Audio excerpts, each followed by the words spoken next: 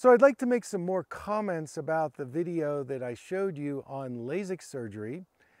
In my experience, I have seen people who have had LASIK surgery develop a lot of vision problems, especially blurred vision, halos around lights, double vision, floaters, and dry eye. Now I know many of you have had success with LASIK surgery.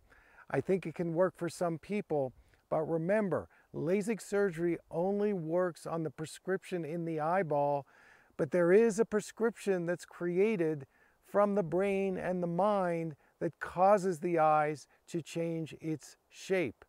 So when you do LASIK surgery, you're only working with the prescription in the eyeball and not the prescription in the body.